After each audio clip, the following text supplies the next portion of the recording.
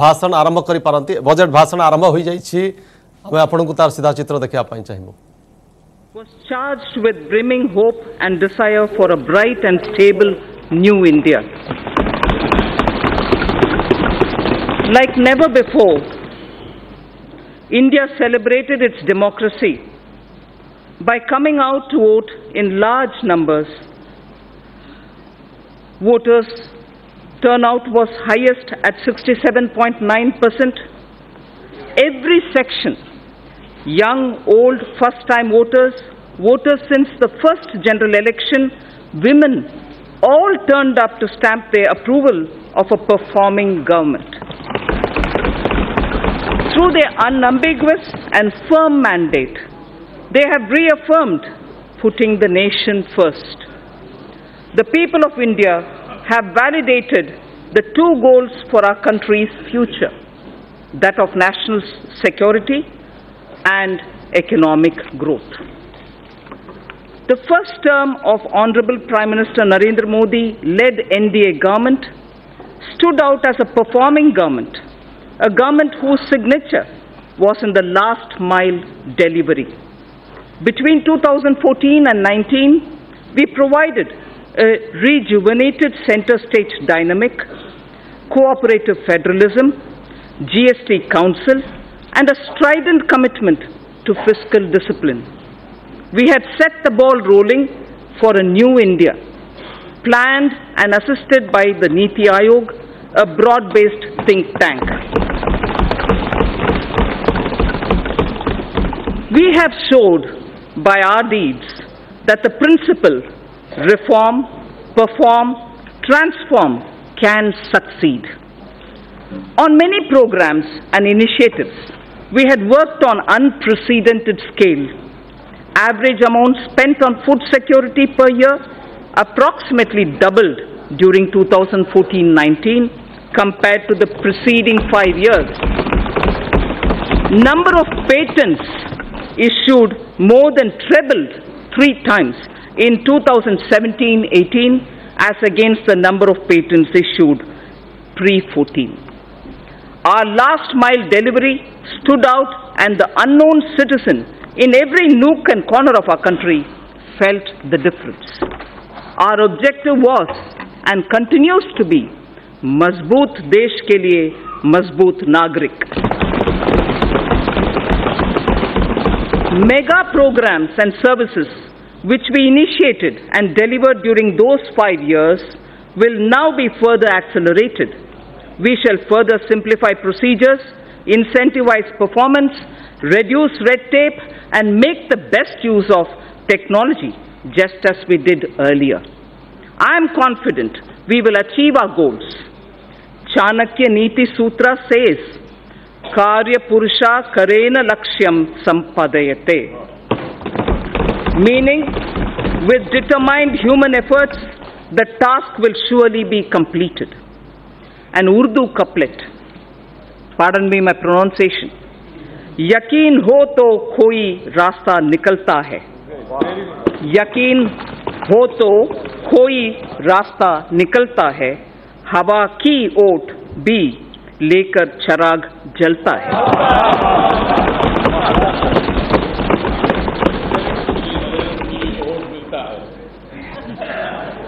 Vision for the decade.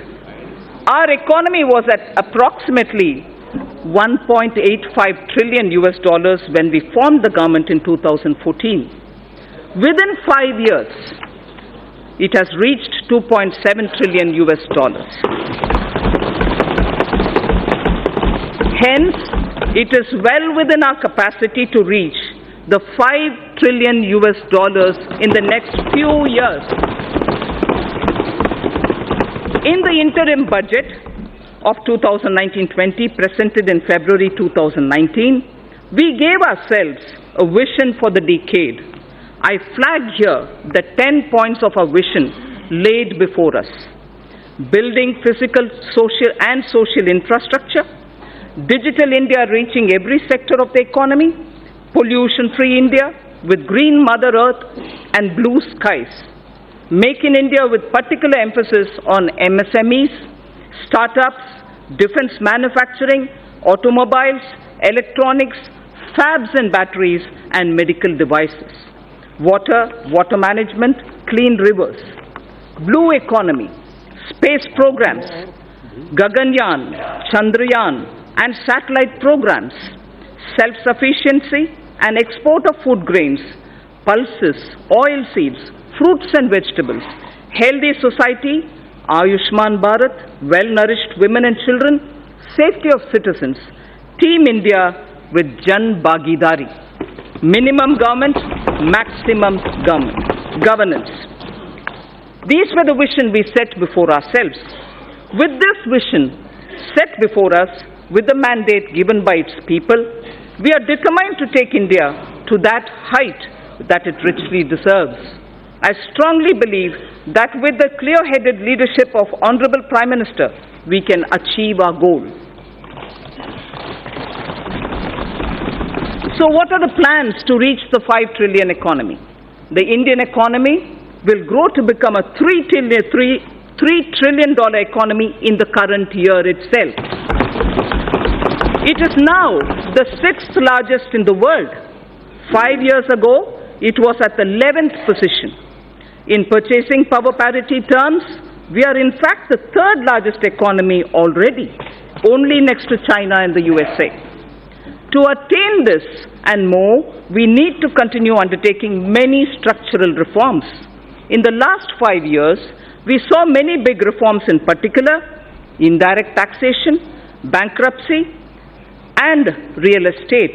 While these reforms were happening here in the parliament, the common man's life was being changed through mudra, loans, to help him to do his business, and through several programs, it was being ensured that his or her kitchen had become smokeless. His or her house got electricity connection, and women's dignity was respected with the provision of toilets in home. The common man was served even as a major transformational reforms were being rolled out. And for this to continue, we need to invest heavily in infrastructure, in digital economy, and on job creation in small and medium firms. Respected Speaker, sir, it took us over 55 years for the Indian economy to reach $1 trillion. But when the country and her people's hearts are filled with Asha, Vishwas, and Akanksha, that is, when the hearts are filled with hope, trust and aspirations, we, in five years, in just five years, added one trillion dollars. As I said, today we are nearing a three trillion dollar level. So when we aspire to reach a five trillion dollar level, many wonder if it's possible if we can appreciate our citizens' purusharth or their goals of human spirit or pursuit, filled with the inherent desire to progress, led by the dedicated leadership present in this House, the target is eminently achievable. All of India's private sector industries, all of India's private sector industries, small, medium, or large, have played a substantial role in growing our economy. I recall the words of an eminent industry leader who said that his company's growth has always aligned itself with India's growth before and post independence. So, if before independence India Inc. understood Swadeshi, today they understand Make in India. We do not look down upon legitimate profit earning. Gone are the days of policy paralysis and license quota control regimes. India Inc. are India's job creators. They are the nation's wealth creators.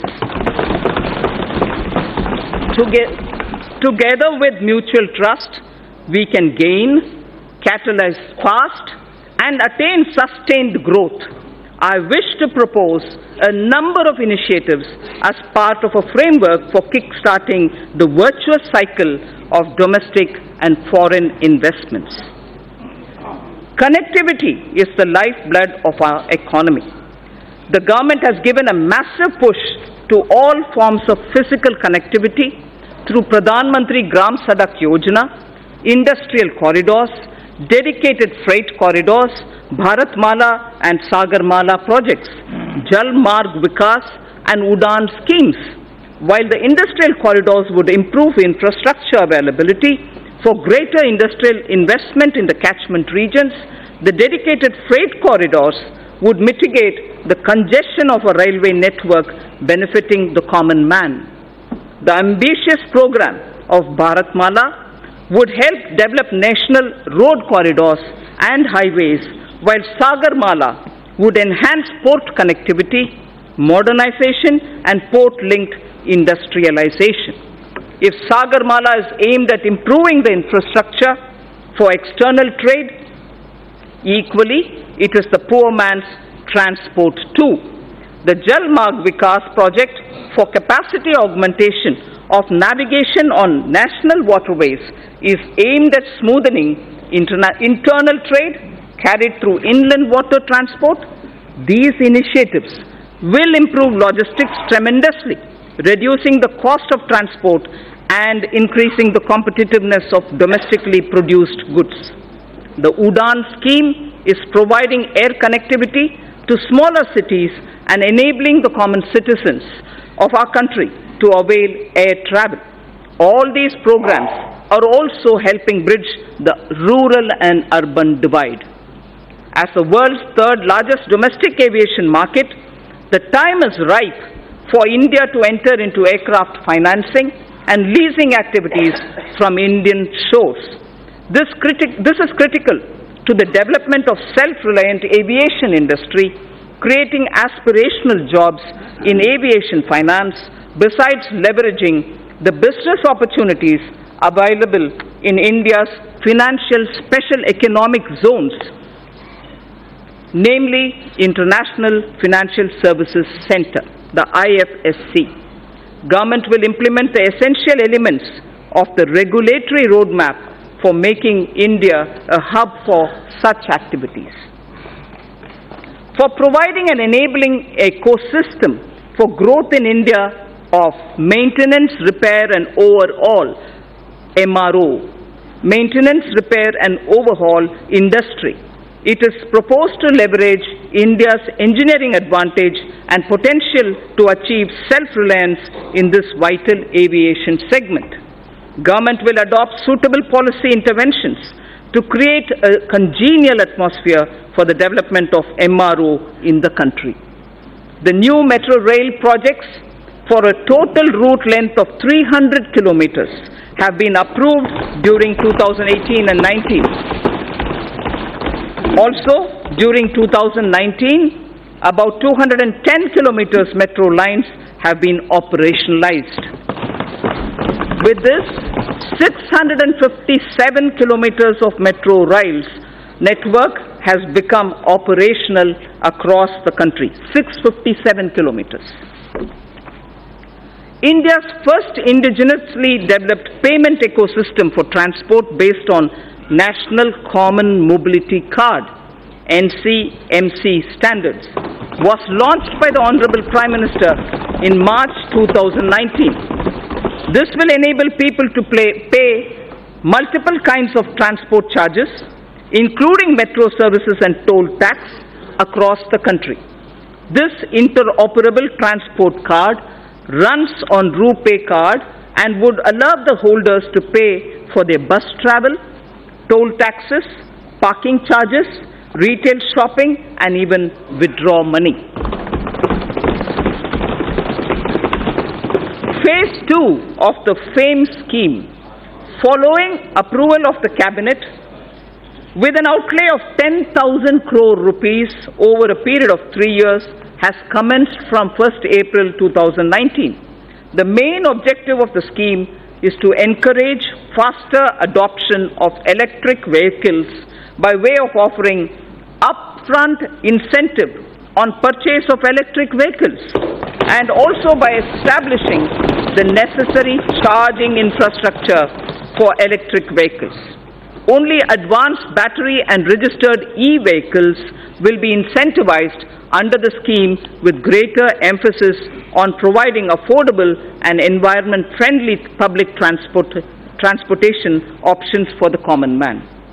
The government will carry out a comprehensive restructuring of National Highway Program to ensure that the National Highway Grid of desirable length and capacity is created using financiable model.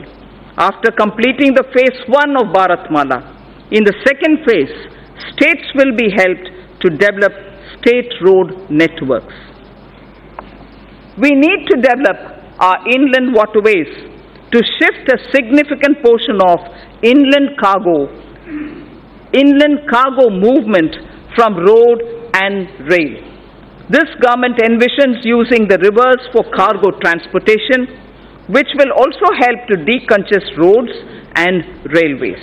As part of the Jalmarg Vikas project, for enhancing the navigational capacity of the Ganga, a more multimodal terminal at Varanasi has become functional in November 2018 and two more and two more such terminals at Sahibganj and Haldia, a navigational lock at Farakka would be completed in 1920. To mo- the movement of cargo volume on Ganga is estimated to increase by nearly four times in the next four years. This will make movement of freight, passenger cheaper and reduce our import bill. It is estimated that railway infrastructure would need an investment of 50 lakh crores between 2018 to 2030. Given that the capital expenditure outlays of railways are around 1.5 to 1.6 lakh crores per annum, completing even all sanctioned projects would take decades. It is therefore proposed to use public-private partnership to unleash faster development and completion of tracks, rolling stock manufacturing, and also delivery of passenger freight services.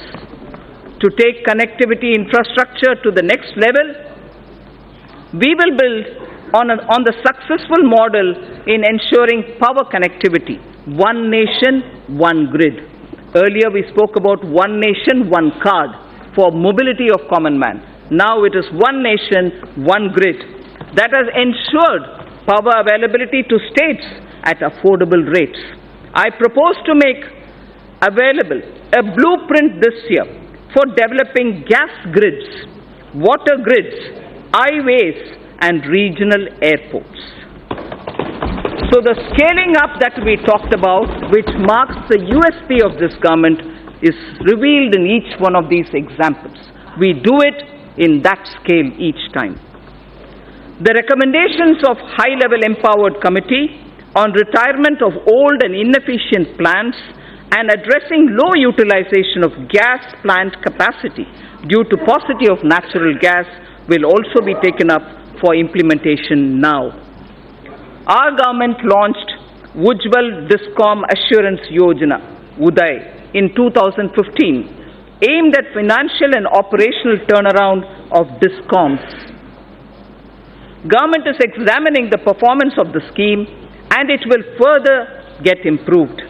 We will work with the state governments to remove barriers like cross-subsidy surcharges, undesirable duties on open access sales or captive generation for industrial and other bulk power consumers. Besides these structural reforms, considerable reforms are needed in tariff policy. A package for power sector tariff and structural reforms would soon be announced. It is proposed that several reform measures would be taken, taken up to promote rental housing. Current rental laws are archaic as they do not address the relationship between the lessor and the lessee realistically and fairly. A model tenancy law will also be finalized and circulated to the states. Large public infrastructure can be built on land parcels held by the central ministries and central public sector enterprises all across the country. Through an innovative instrument or innovative instruments such as joint development and concession, public infrastructure and affordable housing will be taken up. For ease of access to credit for MSMEs, government has introduced providing of loans up to 1 crore rupees for MSMEs within 59 minutes through a dedicated online portal. Under the interest subvention scheme for MSMEs, 350 crores of rupees has been allocated for the year 2019-20 for 2% interest subvention for all GST registered MSMEs on fresh or on incremental loans. On fresh or on incremental loans. Government payments to suppliers and contractors are a major source of cash flow, especially to SMEs and MSMEs. Investment in MSMEs will receive a big boost if these delays in payment are eliminated. Government will create a payment platform for MSMEs to enable filing of bills and payment thereof on the platform itself, thereby cutting down the time and the process itself. Encroached, uh, sorry, encouraged by the overwhelming response, the government of India has decided to extend the pension benefit to about 3 crore retail traders and shopkeepers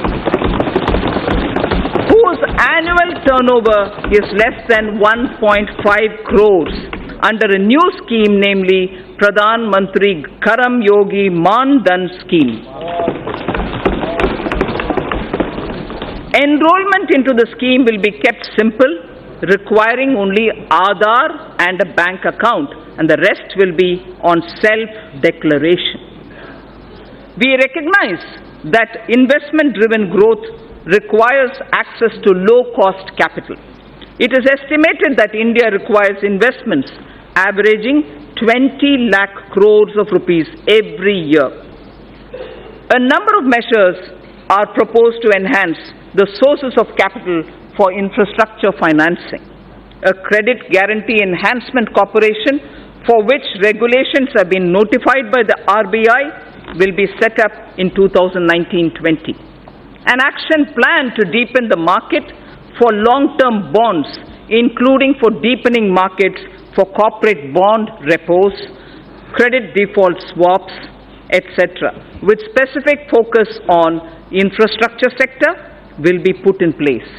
It is proposed to permit investments made by FIIs and FPIs in debt securities issued by Infrastructure Debt Fund, non-bank finance companies, the IDF, NBFCs, to be transferred, sold to any domestic investor within specified lock-in period.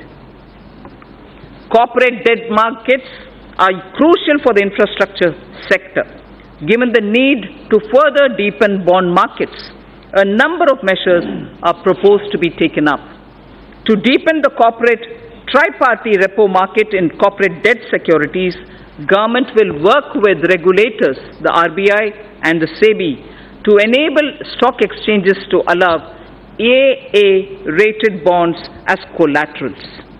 User friendliness of trading platforms for corporate bonds will be reviewed, including issues arising out of capping of international security identification number, the ISIN.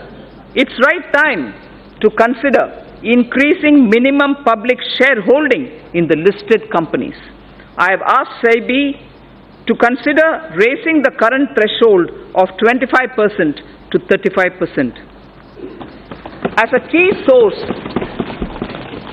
as a key source of capital to the Indian economy, it is important to ensure a harmonized and hassle-free investment experience for foreign portfolio investors.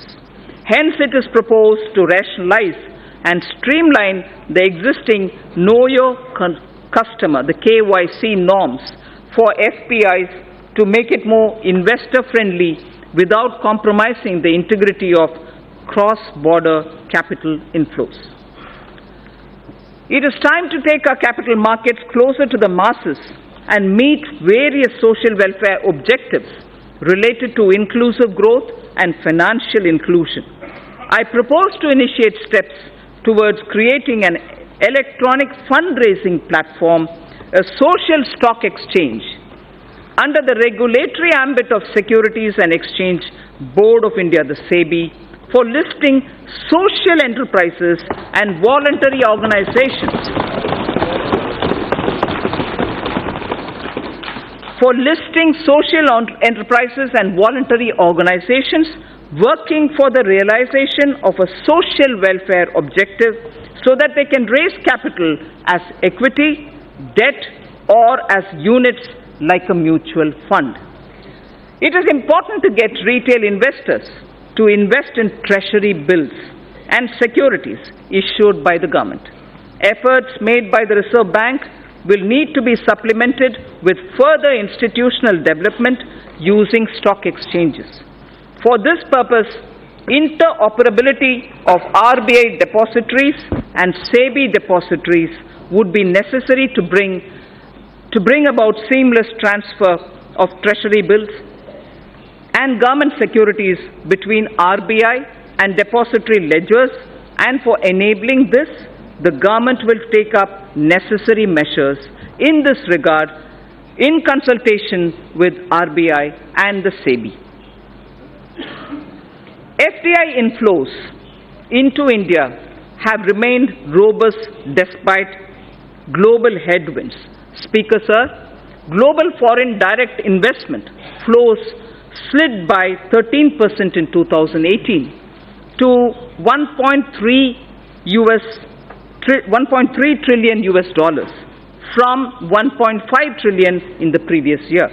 The third consecutive annual decline according to the UNCTAD's UNCTAD's World Investment Report in 2019. This is India's FDI flows in 2018-19 remained strong. If that was the global picture, India's inflows in 18-19 remained strong at 64.37 billion US dollars, marking a 6% growth over the previous year.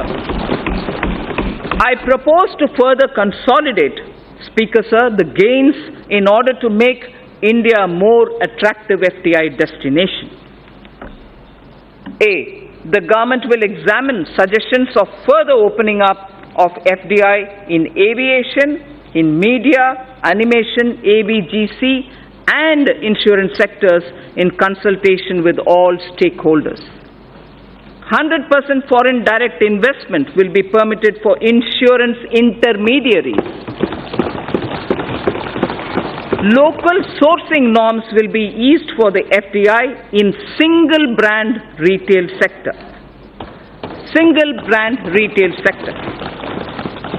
It's high time India not only gets integrated into global value chain of production of goods and services, but also become part of the global financial system to mobilize global savings, mostly institutionalized in pension, insurance, sovereign wealth funds, and so on.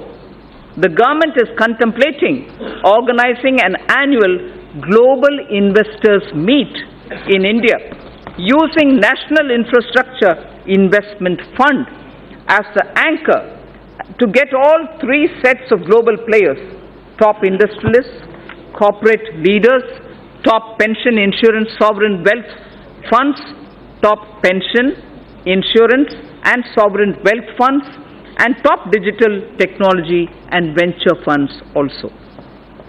An important determinant of attracting cross-border investment, Speaker Sir, is availability of investable stock to the foreign portfolio investors.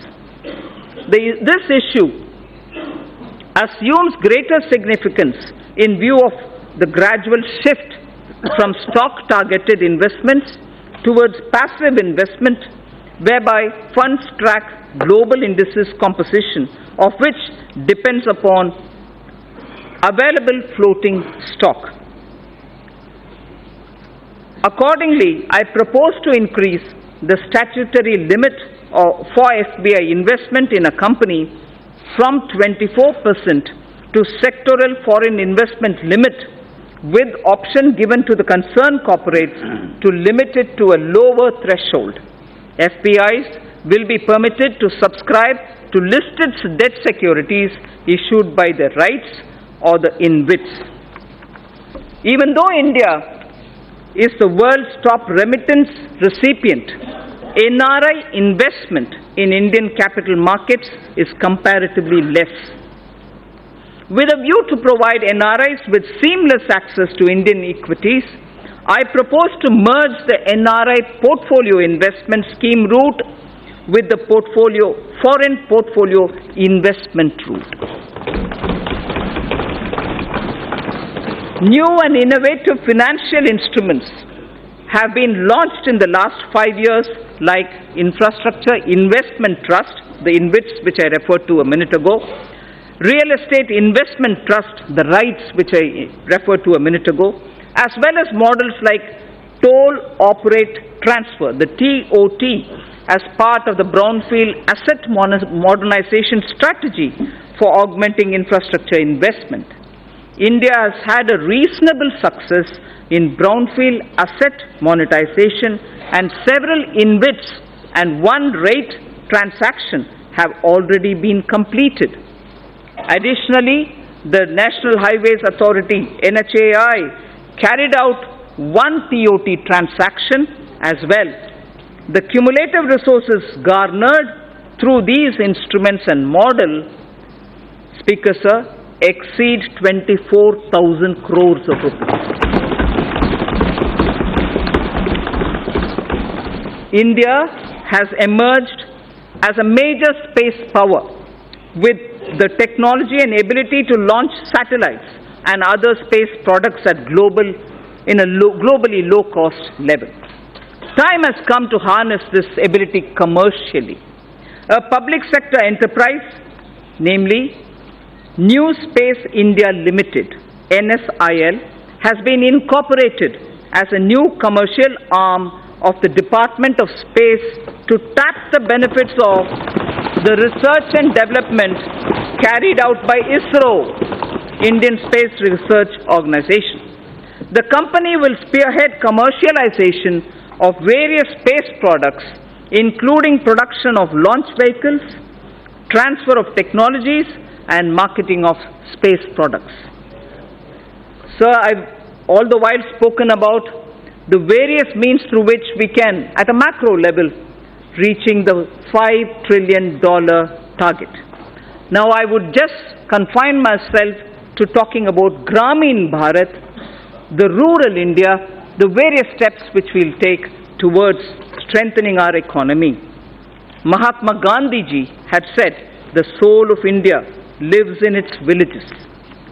This year, even as we are marking the 150th birth anniversary of Mahatma Gandhi, I submit that our government keeps Antyodaya at the core of all its efforts.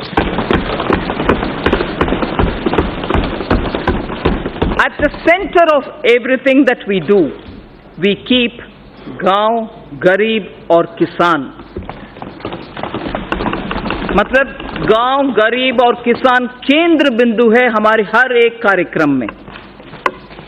Honourable prime minister's two mega initiative of Ujjwala Yojana and Saubhagya Yojana have transform the life of every rural family dramatically improving ease of their living household access to clean cooking gas has seen an unprecedented expansion through provision of more than 7 crore LPG connections. All villages and almost 100% households across the country have been provided with electricity. A combination of a combination of efficient implementation and enthusiastic adoption has significantly improved access to energy for rural households. By 2022, the 75th year of Indian independence, I would like to assure the nation that every single rural family, that every single rural family, except those who are unwilling to take the connection, except, Speaker Sir, it's important to understand, except those who are unwilling to take the connection will have an elec- electricity and a clean cooking facility.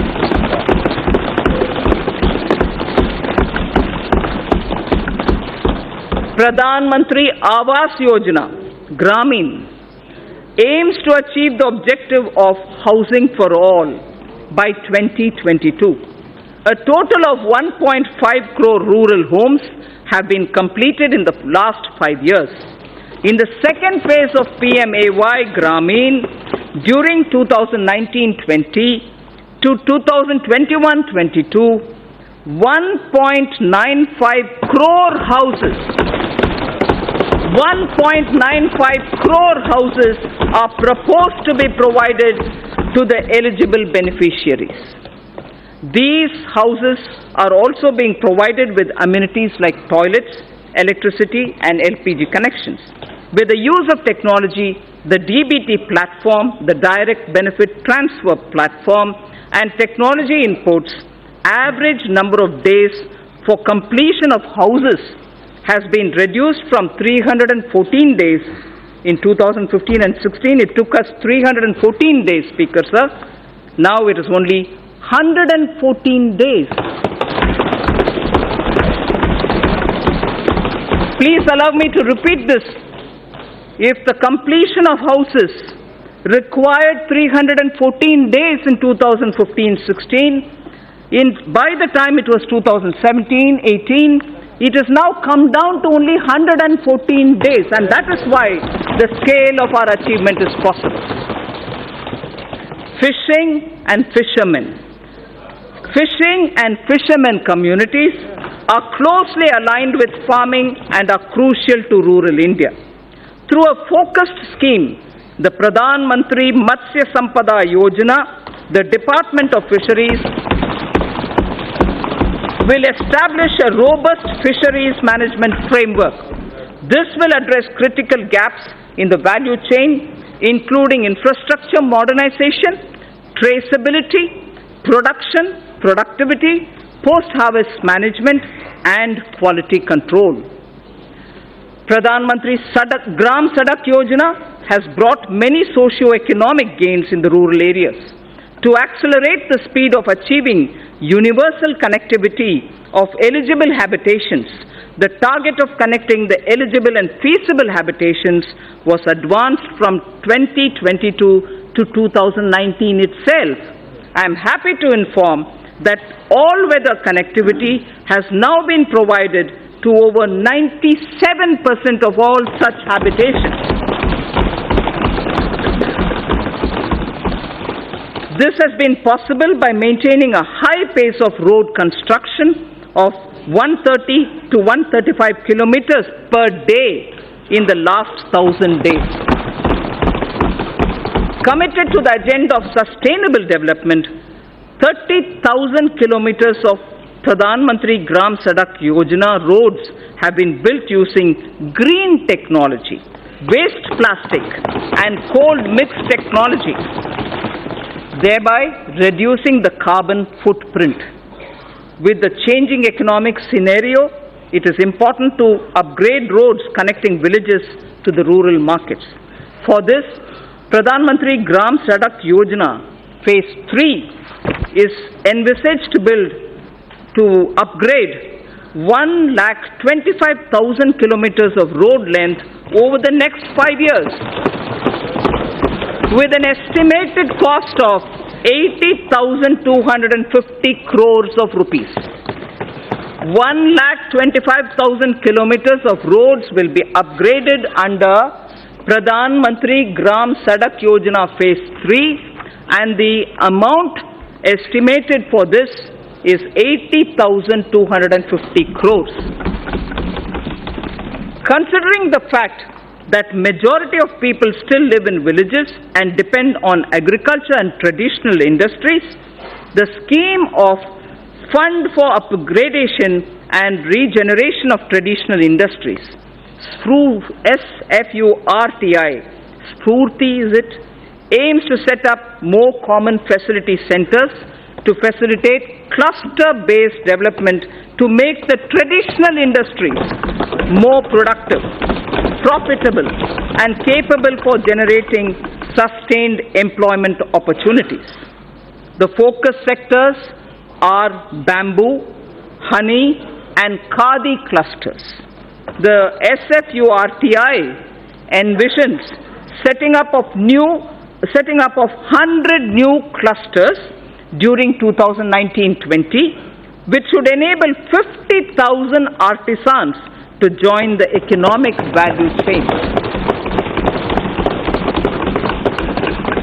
Further, to improve the technology of such industries, the scheme for promotion of innovation, rural industry and entrepreneurship, ASPIRE, has been consolidated for setting up of livelihood business incubators and technology business incubators.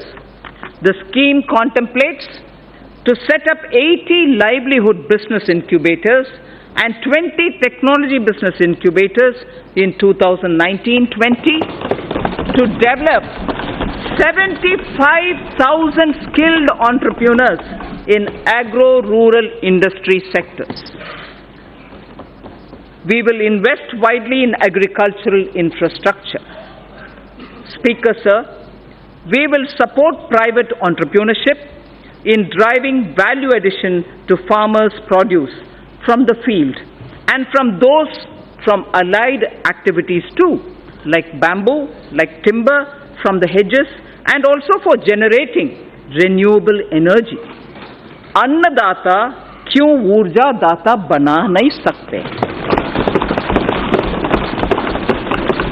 अन्नदाता ऊर्जा दाता बनाने के लिए बहुत सारे हमारे programmes हैं।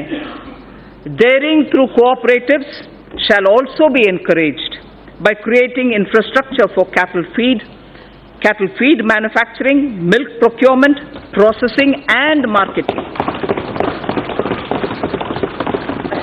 speaker sir I place my appreciation for our farmers who have made India self-sufficient in pulses.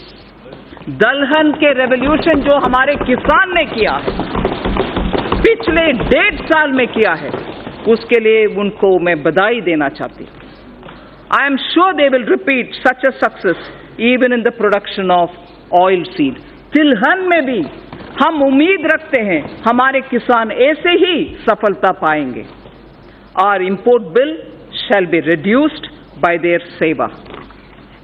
We also hope to form 10,000 new farmer producer organizations. We ensure economy. That will ensure economies of scale for farmers over the next five years. The government will work with state governments to allow farmers to benefit from e-NAM. The Agricultural Produce Marketing Cooperatives Act should not hamper farmers from getting a fair price for their produce. Ease, ease of doing business, ease of doing business and ease of living both should apply to farmers too.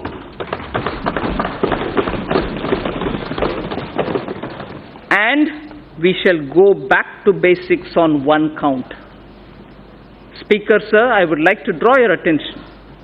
We shall go back to basics on one count. Zero budget farming. Zero budget farming may not be a new thing. That is why I said we'll go back to basics. We need to replicate this innovative model. Some states have already tried somewhat. We need to replicate this innovative model through which, in a few states, farmers are already being trained in this practice. Steps such as this can help in doubling our farmers' income in time for our 75th year of independence. Ensuring India's water security and providing access to safe and adequate drinking water to all Indians is a priority for this government. A major step in this direction has been constitution of the Jal Shakti Mantralaya, integrating the Ministry of Water Resources, River Development and Ganga Regeneration and the Ministry of Drinking Water and Sanitation. This was done by integrating these many ministries and departments.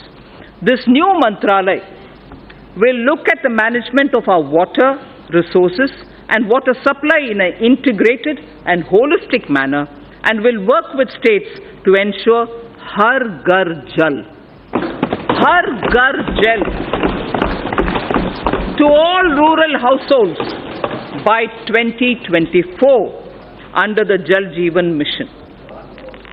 This mission under the Department of Drinking Water and Sanitation will focus on integrated demand and supply side management of water at the local level, including creation of local infrastructure for source sustainability like rainwater harvesting, groundwater recharge, and management of household wastewater for reuse in agriculture.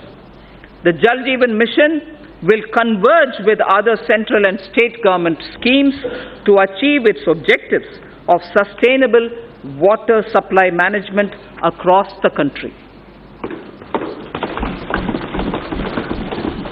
The government has identified 1,592 blocks which are critical and overexploited, spread across 256 districts for the Jal Shakti Abhiyan. Besides using funds available under various schemes, the government will also explore possibility of using additional funds available under the Compensatory Afforestation Fund Management and Planning Authority, the CAMPA, for this purpose. Speaker said, Swachh Bharat Abhiyan has touched the very conscience of the nation besides bringing enormous health and environmental benefits.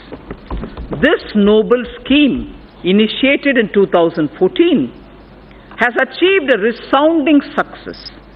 9.6 crore toilets have been constructed.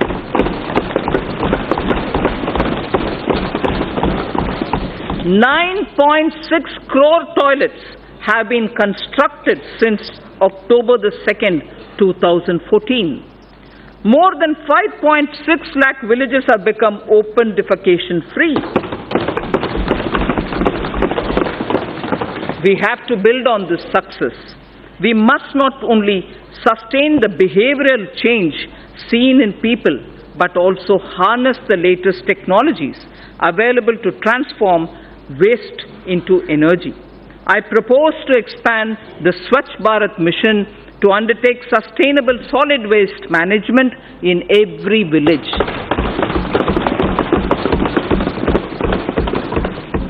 Under the Pradhan Mantri Gramin Digital Saksharata Abhiyan, over 2 crore rural Indians under the Pradhan Mantri Gramin Digital Saksharata Abhiyan, over 2 crore rural Indians have so far been made digitally literate. To bridge rural urban digital divide, BharatNet is targeting internet connectivity in local bodies in every panchayat in the country. This will be speeded up with assistance from Universal Service Obligation Fund under the public-private partnership arrangement. Speaker, sir, till now I focused on some specific features in order that our rural India, Gramin Bharat ke liye. Now I will focus on, focus on Shahri Bharat, urban India. This government sees the rapid urbanization of India as an opportunity rather than a challenge. We have to make both our cities and villages better using technology. This way, we can help people live closer to their homes, stop migration into cities, provide essential services to all. Under Pradhan Mantri Awas Yojana, urban, over 81 lakh houses with an investment of about 4.83 lakh crores have been sanctioned, of which construction has started in about 47 lakh houses. Over 26 lakh houses have been completed, for, of which nearly 24 lakh houses have been delivered to the beneficiaries. There is large scale adoption of new technologies for construction of these houses. Over 13 lakh houses have so far been constructed using these new technologies. More than 95% of our cities also have become ODF, open defecation free. 95% of all cities have become, or they have declared themselves ODF. More than 45,000 public and community toilets across 1,700 cities have been uploaded on Google Maps, covering more than 53% of India's urban population. Almost 1 crore citizens have downloaded the Swachhata app. The 150th birth anniversary of Mahatma Gandhi is an apt occasion for us to rededicate ourselves to the ideals of the Mahatma. Honorable Prime Minister took the sankalp of achieving Gandhiji's resolve of Swachh Bharat to make India open defecation free by 2nd October 2019. I'm very satisfied and I'm very happy to report to this August House that this would be achieved by the 2nd of October. To mark this occasion, the Rashtriya Swachhata Kendra will be inaugurated at Gandhi Darshan, Rajghat on 2nd October 2019. A Gandhipedia, like an encyclopedia on Gandhi, a Gandhipedia is also being developed by National Council for Science Museums to sensitize youth and society at large about positive Gandhian values. Indian Railways suburban and long distance services do a phenomenal task in cities like Mumbai and smaller cities. Railways will be encouraged to invest more in suburban railways through special purpose vehicle structures like rapid regional transport system proposed on the Delhi Meerut route. I propose to enhance the metro railway initiatives by encouraging more PPP initiatives and ensuring completion of sanctioned works while supporting trans transit oriented development to ensure commercial activity around transit hubs. We are in the process of completing the dedicated freight corridor project that will free up some of the existing railway network for passenger trains. Speaker, sir, allow me now to speak on the youth of India. The government will bring in a new educational, national educational policy to transform India's higher education system to one of the global best education systems. The new policy proposes major changes in both school and higher education, among others, better governance systems, and brings greater focus on research and innovation. We propose to establish a national research foundation to fund to coordinate and to promote research in the country. NRF or the National Research Foundation will assimilate the research grants being given by various ministries independent of each other. NRF will ensure that the overall research ecosystem in the country is strengthened with focus on identified thrust areas relevant to our national priorities and towards basic science without duplication of effort and expenditure. We would work out a very progressive and research oriented structure for the NRF itself. The funds available with all ministries will be integrated in NRF. This would be adequately supplemented with additional funds. Massive online open courses through SWAYAM initiative have helped bridge the digital divide for disadvantaged, uh, disadvantaged section of our student community. To upgrade the quality of teaching, the global initiative of academic networks, GIAN, program in higher education was started, aimed at tapping the global pool of scientists and researchers. The imprint or impacting research innovation and technology scheme began as PAN IIT and IISc joint initiative to develop a roadmap for research to solve major engineering and technology challenges in selected domains needed by the country. Higher educational institutions are becoming the centers of innovation. These initiatives have upgraded the quality of education. There was not a single Indian institution in the top 200 in the world university rankings five years back.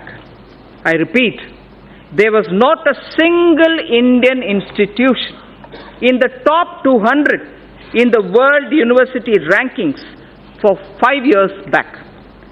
Due to the concentrated efforts and concerted efforts by our institutions to boost their standards and also to project their credentials better, we have now three institutions, two IITs and IISc Bangalore in the top 200 institutional bracket. This is a window open now thanks to all our efforts. We will continue making concerted efforts to improve the performance of our institutions of higher learning. An amount of 400 crores has been provided under the head World Class Institutions for the year 2019-20, more than three times the revised estimates for the previous year. More than three times the revised estimates of the previous year. India has the potential to become a hub of higher education.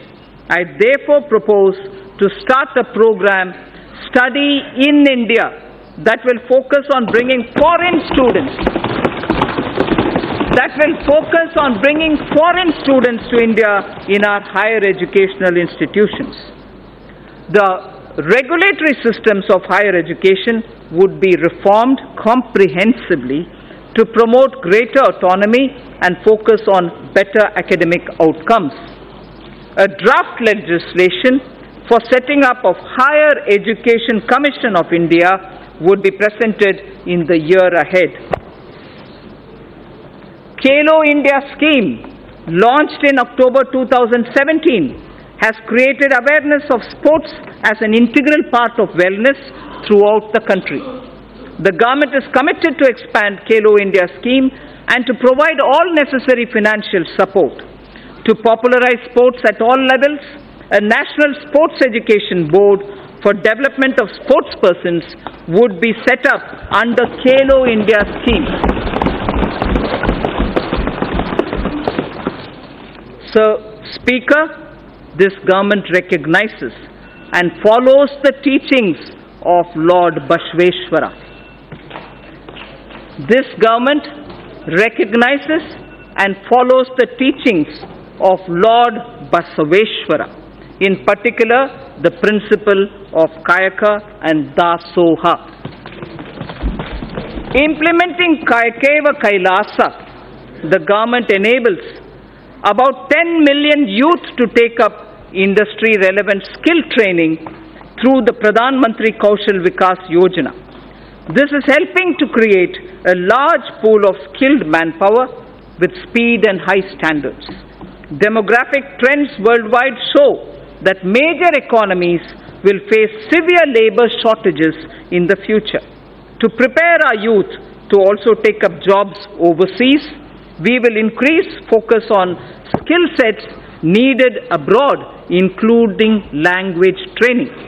We will also lay focus on new age skills like artificial intelligence, Internet of Things, big data, 3D printing, virtual reality, and robotics, which are valued highly both within and outside the country, and offer much higher remuneration.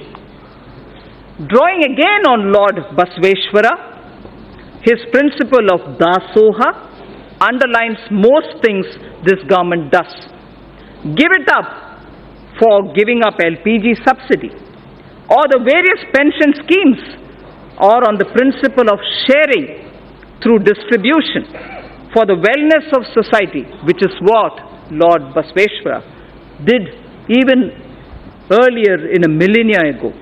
The government is proposing to streamline multiple labor laws into a set of four labor codes. So, for the sake of labor welfare, I'd like to repeat this slide. The government is proposing to streamline multiple labor laws into a set of four labor codes. Codes. C O D E S. Codes. This will ensure that process of registration and filing of returns will get standardized and streamlined. With various labor related definitions getting standardized, it is expected that there shall be less disputes. We propose, again, sir, this is an interesting idea. I wish to draw your attention. We propose to start a television program within the DD bouquet of channels exclusively for startups.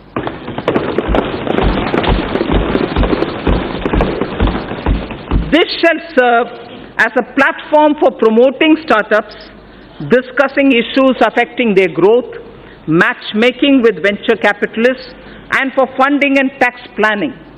This channel shall be designed and executed by startups themselves. Later, in the speech, I shall deal with taxation matters of the startups. So, Stand Up India scheme has delivered enormous benefits. The country is witnessing emergence of thousands of entrepreneurs from women and also from scheduled caste and scheduled tribes. Most of them assisted to set up their own businesses and industry with capital provided under the Stand Up India scheme. Considering the beneficial results of the scheme and strong demand for its continuance by the SC and ST com- communities themselves, the scheme would now be continued for the entire period coinciding with the 15th Finance Commission, that is 2020 to 2025. The banks will provide financial assistance for demand-based businesses, including, for example, for acquisition of scavenging machines and robots. Sir, Speaker, the Stand Up India scheme has made human dignity and self-esteem to go up. Kayakave Kailasa, I said earlier, and I repeat, the Ministry of Petroleum and Natural Gas has enabled SC and ST entrepreneurs in providing bulk LPG transportation contracts to them. In a matter of two years, over 300 entrepreneurs have emerged as a result of the stand up scheme. Machines and robots have been deployed to do scavenging, which also saved the manual scavengers their dignity. The synthesis between stand up and startup, with commercial banks playing the catalyst, has brought this transformational change. Sir, now I shall concentrate a few paragraphs on ease of living. After all, everything that this government does with the principle of minimum government, maximum governance is aimed at getting ordinary citizens' life a bit easier. So the ease of living is a very important principle. This government aims to bring greater ease of living in the lives of its citizens. Digital payments are gaining acceptance everywhere, including by the government. Use of technology is an effective way to ensure this. Pradhan Mantri Shram Yogi Maandhan was launched on 5th March 2019 by the Honorable Prime Minister in Ahmedabad. The scheme aims at providing 3,000 rupees per month as pension on attaining the age of 60 to crores of workers in unorganized and informal sectors. About 30 lakh workers have already joined the scheme. For good quality of life and ease of living, maintaining a cleaner environment and ensuring sustainable energy use in, is absolutely vital. A program of mass scaling up of LED bulb- bulbs for widespread distribution at household level was taken up, resulting into massive replacement of incandescent bulbs and CFLs in the country. Approximately 35 crore LED bulbs have been distributed under the Ujala Yojana, leading to a cost saving, and this is very impressive.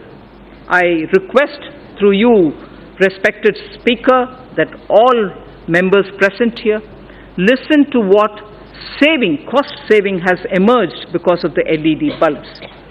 Approximately 35 crore LED bulbs have been distributed under the Ujala Yojana, leading to a cost saving of 18,341 crores. And this 18,341 crores annually every year because of LED this is what the country is saving it is going to be free of incandescent India is going to be free of incandescent bulbs and CFL use has already become minuscule we will use the approach of mission LED bulb method to promote the use of solar stoves and battery chargers in the country. To make railway travel a pleasant and satisfying experience to the common citizen, again, ease of living, we will launch a massive program of railway station modernization this year. Railway station modernization will be launched this year. Honorable Speaker, sir, I draw the attention to the women of India. Nari to Narayani.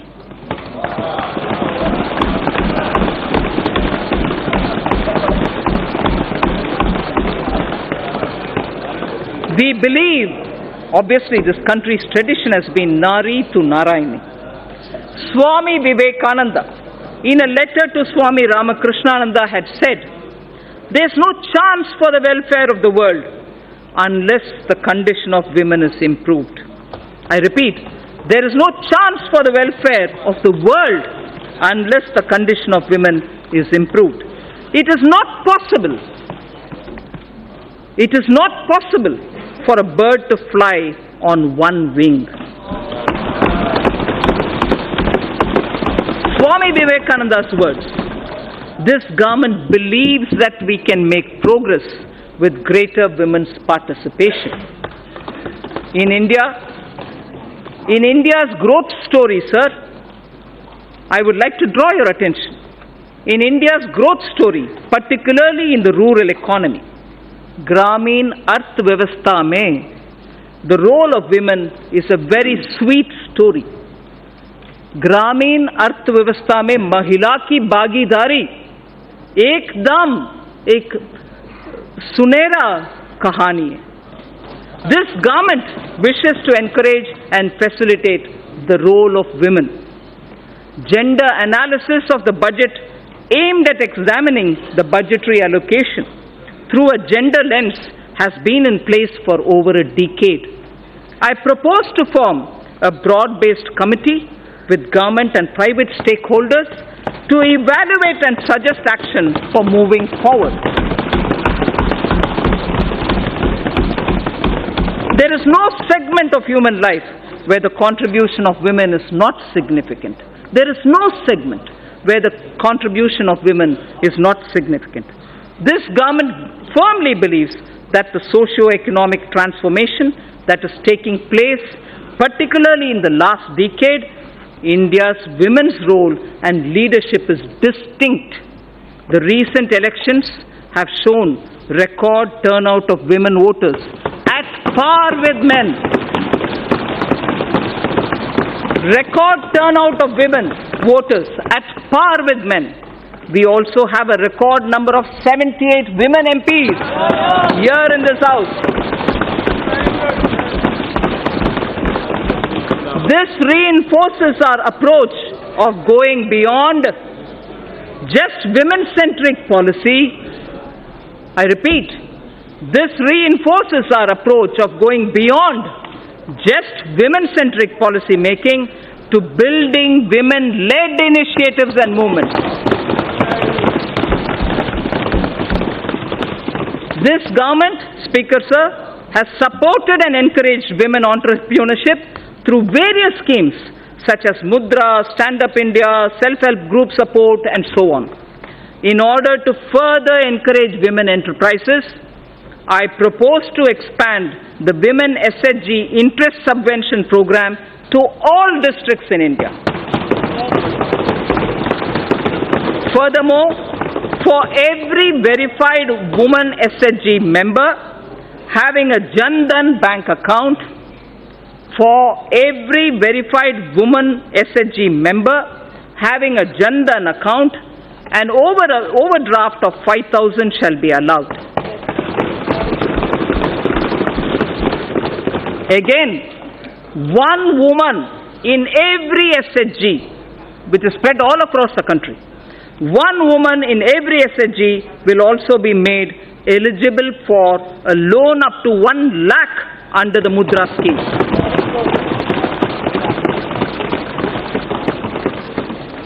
Speaker, sir, at the beginning I did tell you about India's soft power.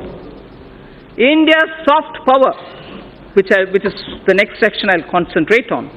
India's soft power is appreciated in so many different ways. Some simple examples, sir. In the last three years, on the International Yoga Day, yoga has been practiced in large numbers in 192 countries around the world. Mahatma Gandhi's favorite bhajan, Vaishnav Janto Tene Kahiye, was sung by the respective uh, leads, uh, lead artists from over 40 countries. The annual Bharat Ko Jano quiz competition is sought after as an event to participate by not only NRIs, non-resident Indians, but also several foreigners themselves. I propose to consider issuing Aadhaar card for non-resident Indians with Indian passports after their arrival in India without waiting for 180 days. I repeat it. I propose to consider issuing Aadhaar cards for non-resident Indians with Indian passports after their arrival in India without waiting for the mandatory 180 days, without waiting the issue. I propose to launch a mission which will integrate our traditional artisans and their creative products with global markets. Wherever necessary, we shall obtain patents for them and the geographical indicators, GI, for them. I wish to say this in Hindi for the larger audience of traditional artisans. इस उद्देश्य से मैं इस गरिमामय प्रांगण से पहली बार यह घोषणा करती हूँ कि हम भारत के सृजनात्मक उद्योगों को अर्थव्यवस्था से जोड़कर जहाँ आवश्यक है बौद्धिक संपदा अधिकारों से संरक्षित कर, करके राष्ट्रीय और अंतर्राष्ट्रीय बाज़ार तक तक पहुँचाने की मुहिम प्रारंभ करेंगे।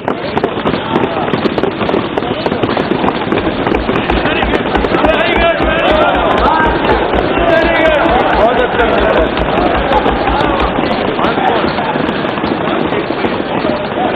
give further impetus to India's growing influence and leadership in the international community, government decided to open Indian embassies and high commissions abroad, abroad in countries where India does not have a resident diplomatic mission as yet.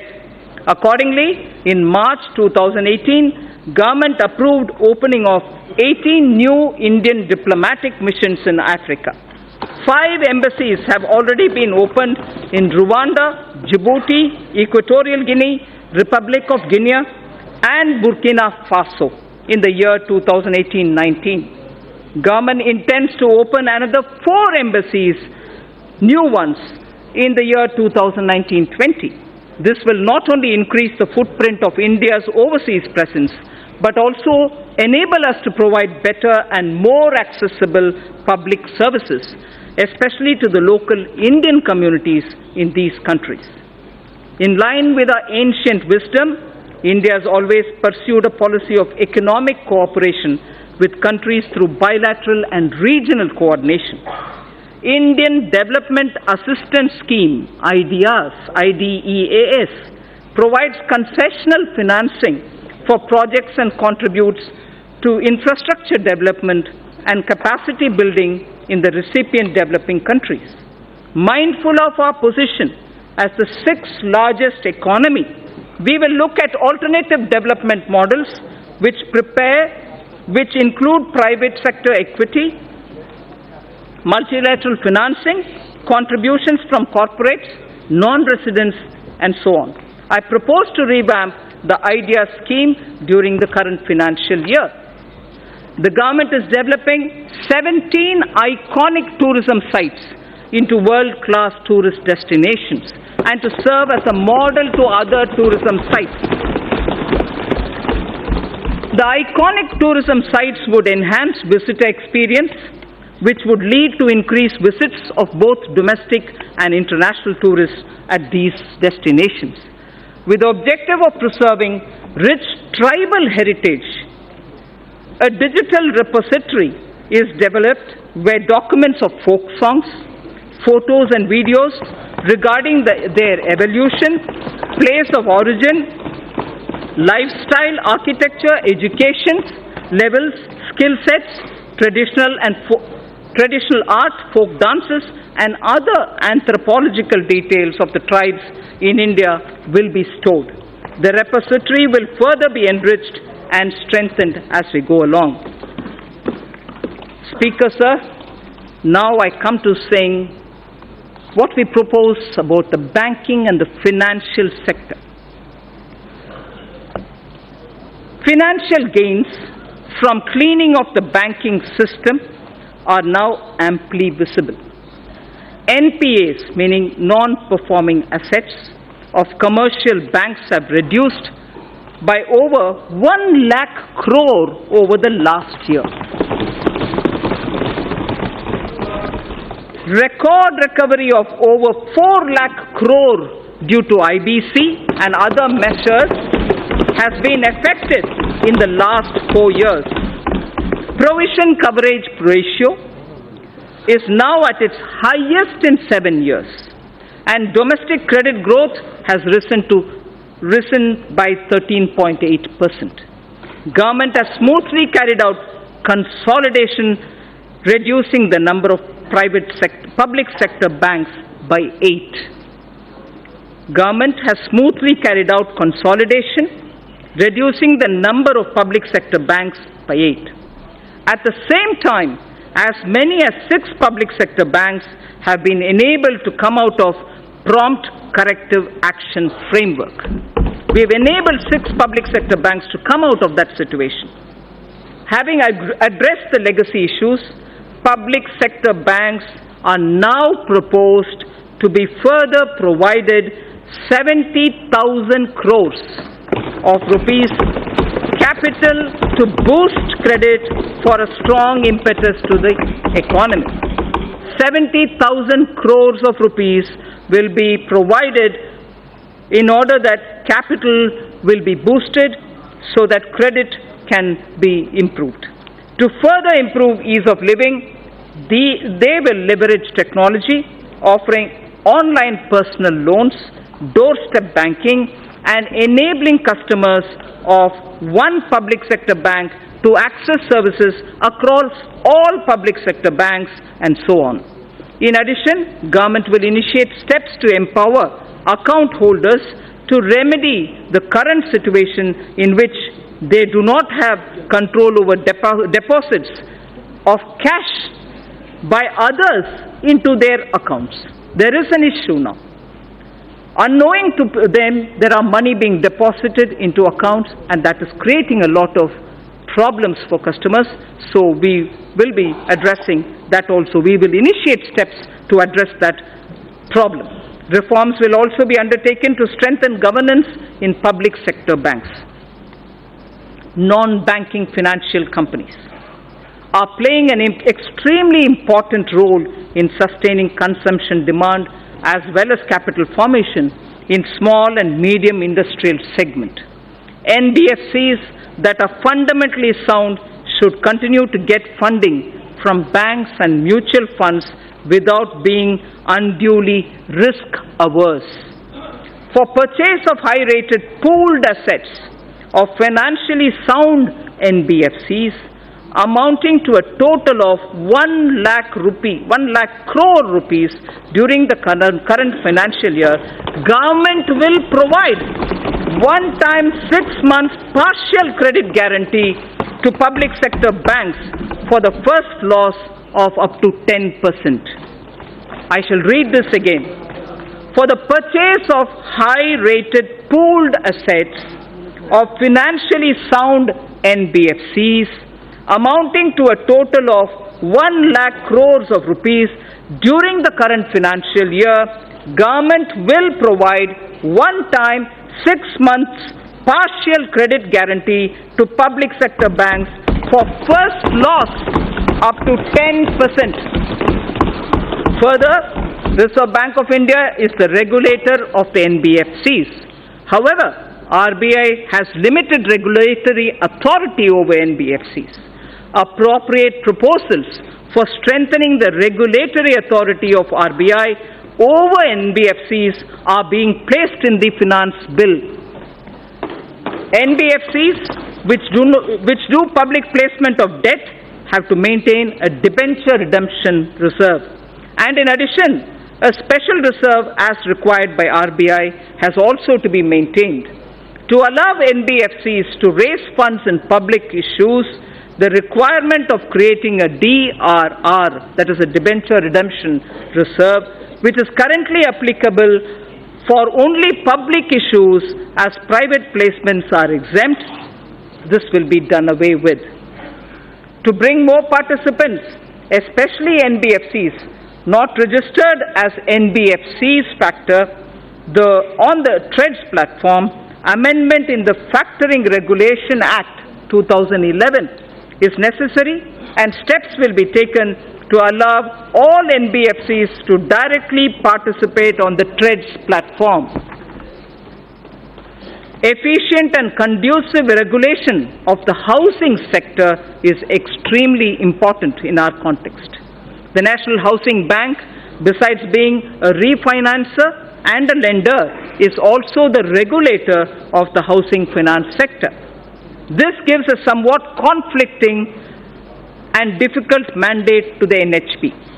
I am proposing to return the regulation authority over the housing finance sector from the NHB, National Housing Board, to the RBI. I am proposing, I repeat, I am proposing to return the regulation authority over the housing finance sector from NHB to the RBI. Necessary proposals have been placed in the finance bill even for that. Government has announced an, its intention to invest 100 lakh crores in infrastructure over the next five years. 100 lakh crores for infrastructure over the next five years. To this end, it is proposed to set up an expert committee to study the current situation relating to long-term finance and our past experience with development finance institutions and recommend, this committee shall recommend the structure and required flow of funds through development finance institutions.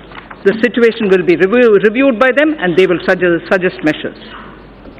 Pension Fund Regulatory Development Authority, PFRDA, implements and regulates the National Pension System, the NPS, and Atal Pension Yojana through various intermediaries, including, inter alia, the NPS Trust, keeping in view the wider interest of the subscribers and to maintain arm's length relationship of the NPS Trust with PFRDA, steps will be taken to separate the NPS Trust from PFRDA with appropriate organizational structure. To facilitate onshore, onshoring of international in, insurance transactions and to enable opening of branches by foreign reinsurers in the International Financial Service Center, it is proposed to reduce net owned fund requirement from 5,000 crores to 1,000 crores, 1,000 crores. I, I'll repeat that sentence, sir. To facilitate onshoring of international insurance transactions and to enable opening of branches by foreign reinsurers in the International Financial Services Center, it is proposed to reduce net owned fund requirement from 5,000 crores to 1,000 crores. Government has been following the policy of disinvestment in non-financial public sector undertakings, maintaining government stake not to go below 51%. Government is considering in case where the undertaking is still to be retained in government control to go below 51% to an appropriate level on case-to-case basis.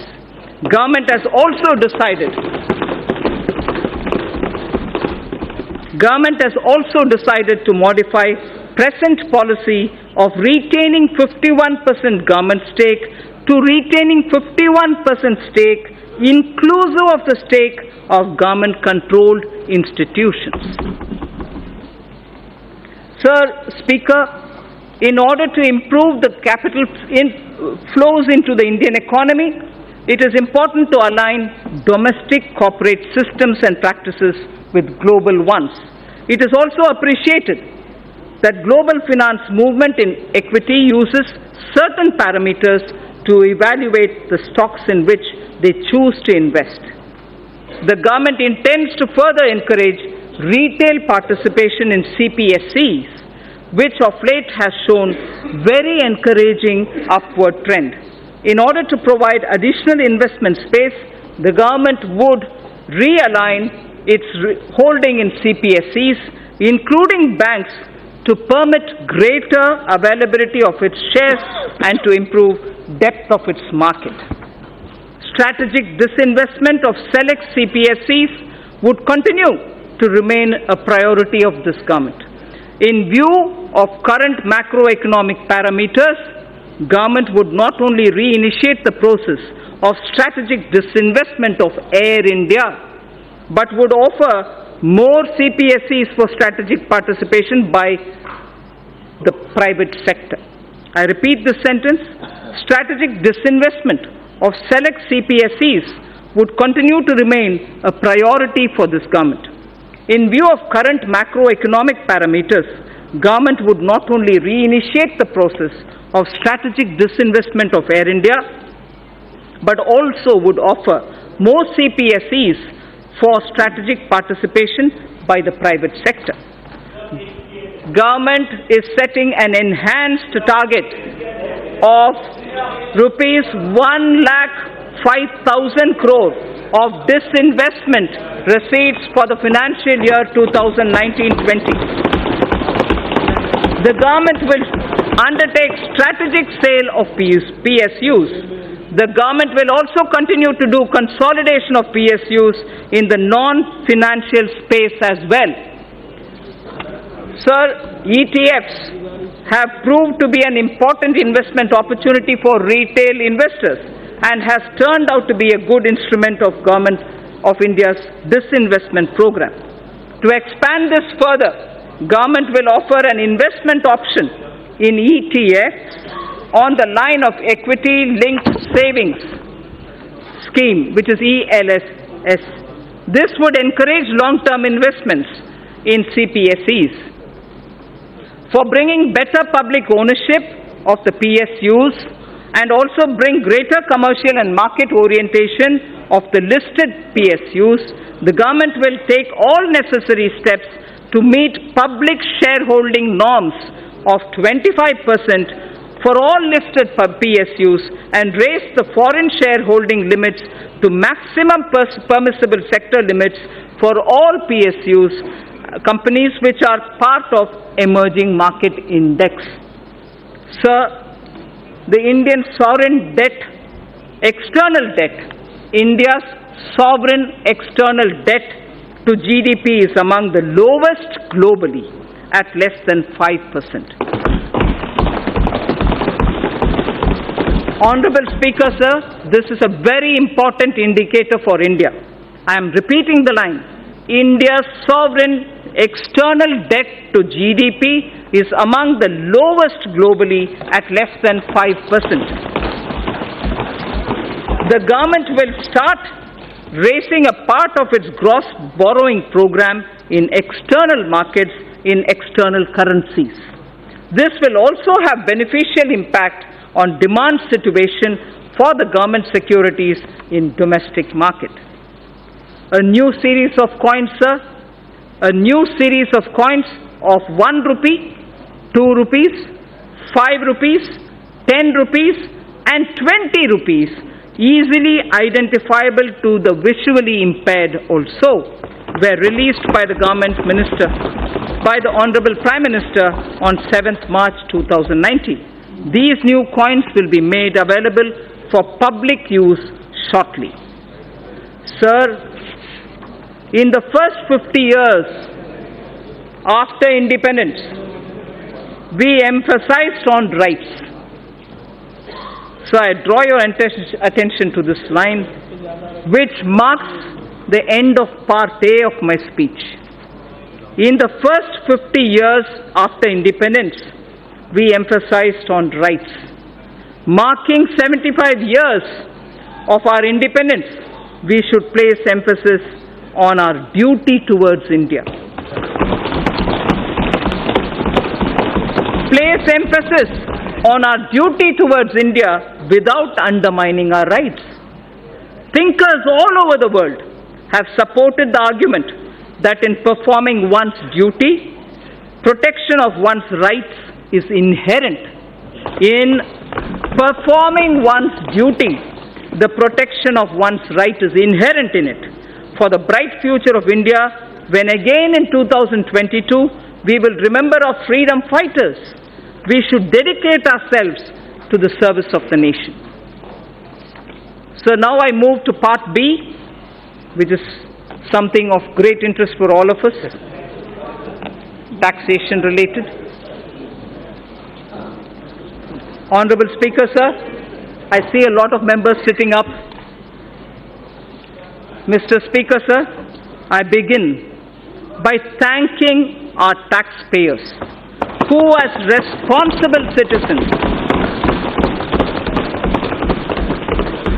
are taxpayers who as responsible citizens perform their duty by paying their taxes.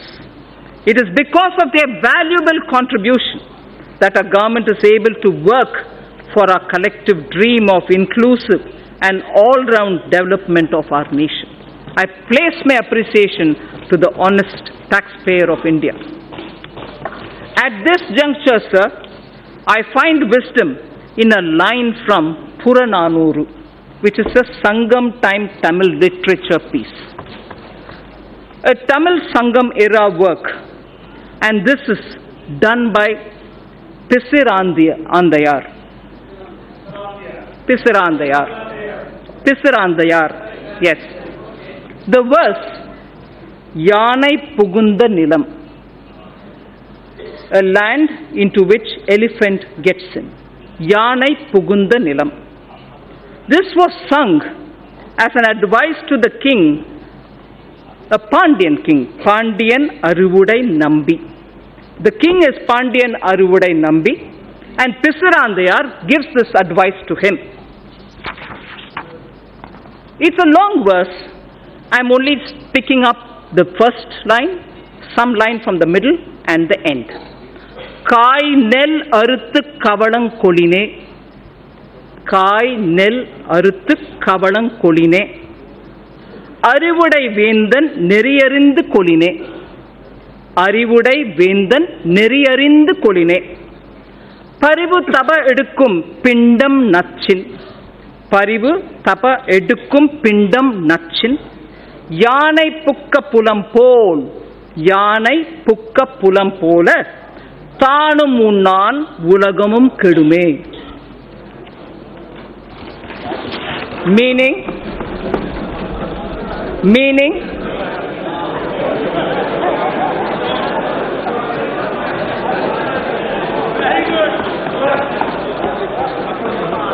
a few mounds of rice, just a few mounds of rice from paddy that is harvested from a small piece of land would be sufficient for the elephant. For an elephant, just a few mounds of rice cooked from paddy which is taken from a small piece of land will be sufficient. But what if the elephant itself enters into the field and starts eating? It would eat far lesser than what it will trample with its foot. I hope the meaning is clear. So, the advice given to Pandian Arivudai Nambi is a valuable advice that this government appreciates. An elephant, if it is given mounds of rice, here I would refer to taxation, will be quite happy. It doesn't have to enter into the field and trample to eat the food. So we don't intend to trample anybody.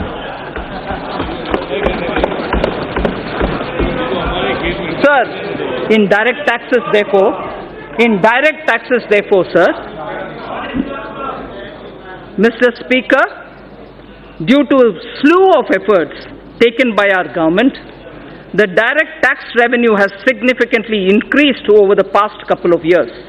It has increased by over 78% from 6.38 lakh crores in financial year 2013-14 to around 11 lakh point 37 lakh crores in financial year 2018.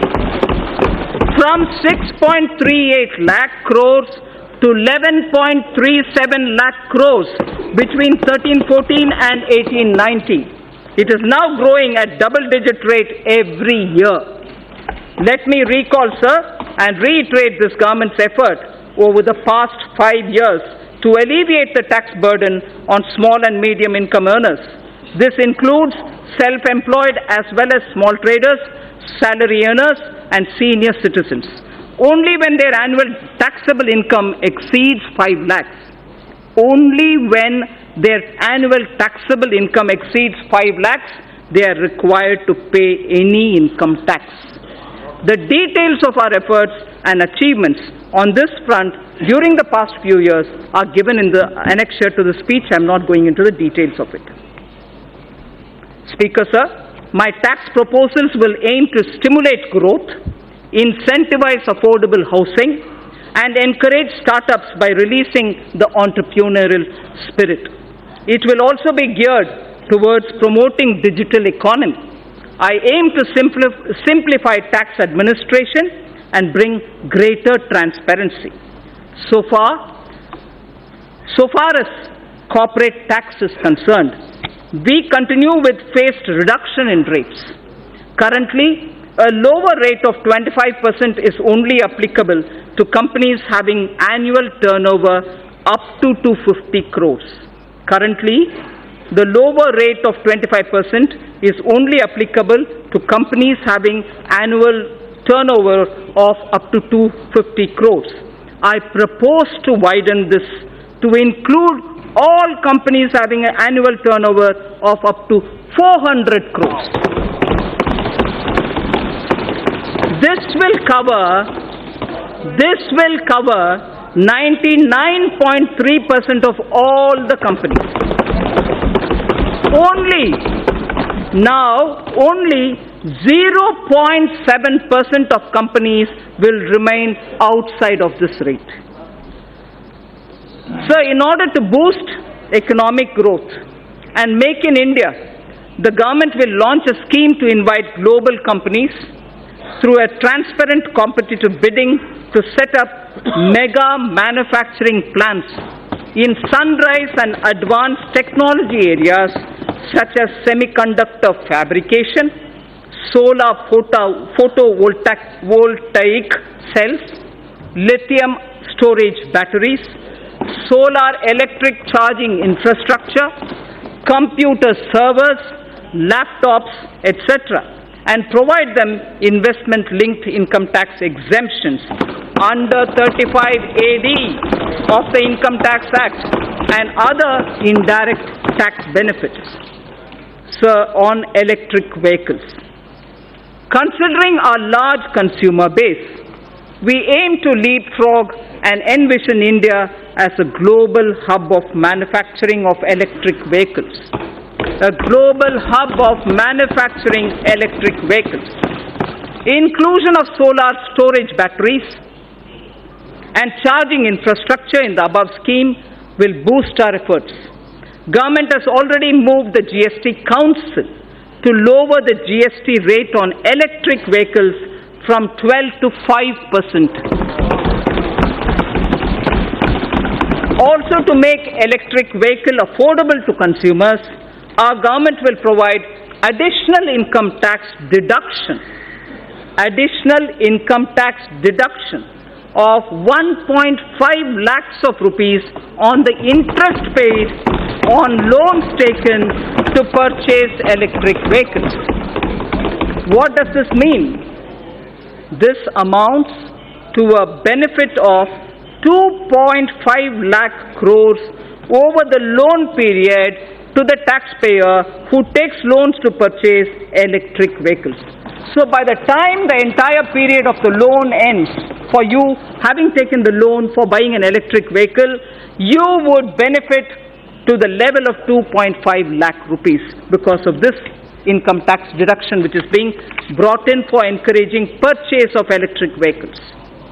So startups, as I said when I was talking about the youth of this country, startups require and we have been consistently providing them all the encouragement. Startups in India are taking firm roots and their continued growth needs to be encouraged. To resolve the so-called angel tax issue, I'm sure a lot of members are concerned on this issue.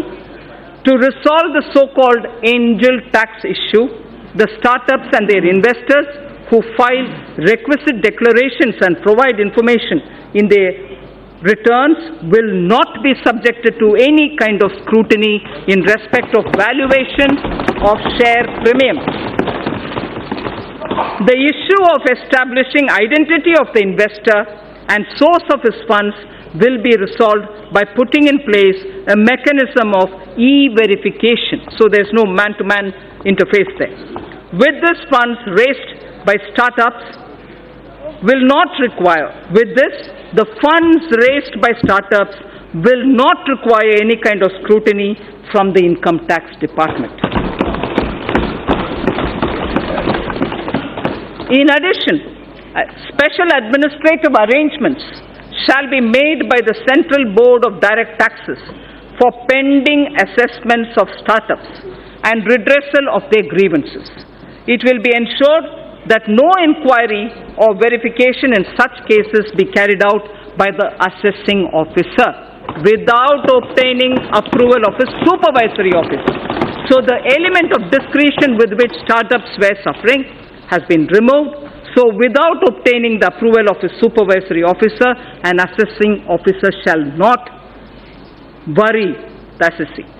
At present, startups are not required to justify fair market value of their shares issued to certain investors, including Category 1 alternative investment funds. I propose to extend this benefit to category 2 alternative investment funds also. At the moment it's available for AIF category 1. Now I expand this to include category 2 AIFs also.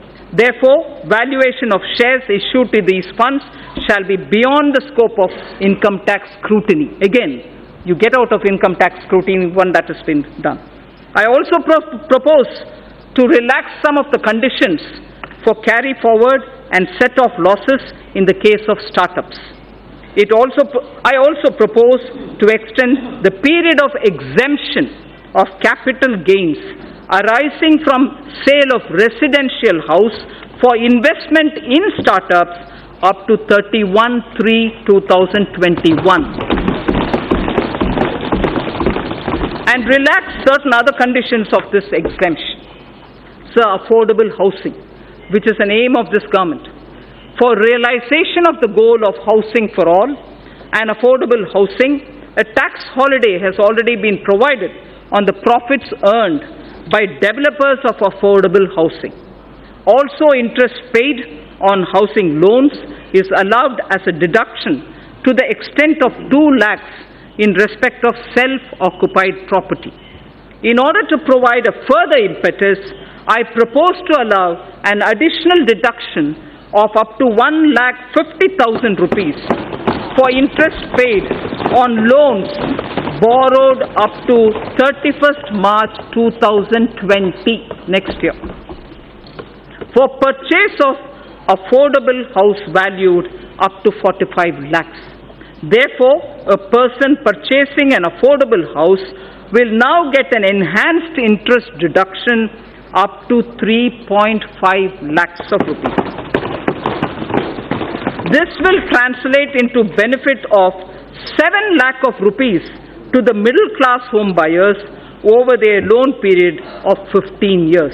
Just as we said about the electric cars, now we are saying the tax deduction provision that we're coming in now with will enable home buyers of the affordable home category that in the period of 15 years when your loan, home loan runs, the net gain would be 7 lakh of rupees.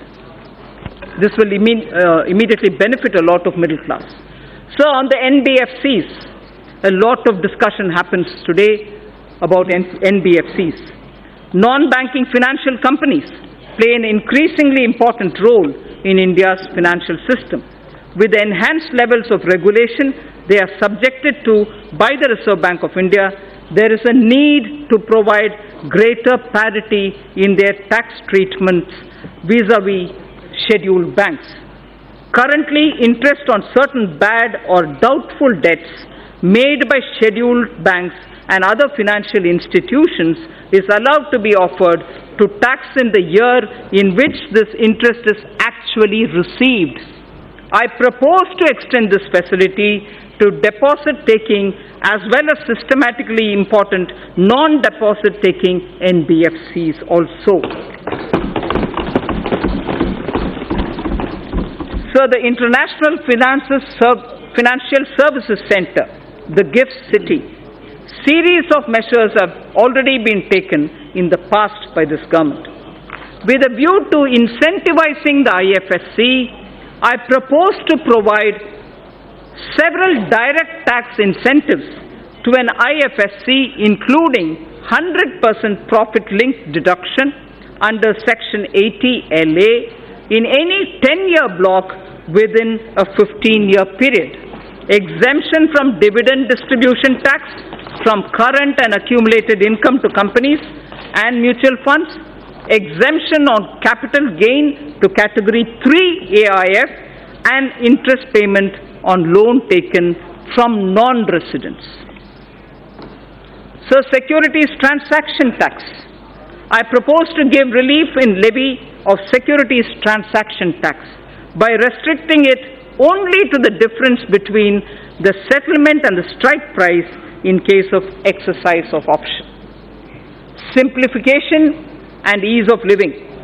India's ease of doing business ranking under the category of paying taxes showed a significant jump from 172 in 2017 to 121 in the year 2019. From 172, we have come to 121, a drastic improvement. I now propose to implement series of measures that will leverage technology to make compliance easier for the taxpayer. Interchangeability of PAN and Aadhaar.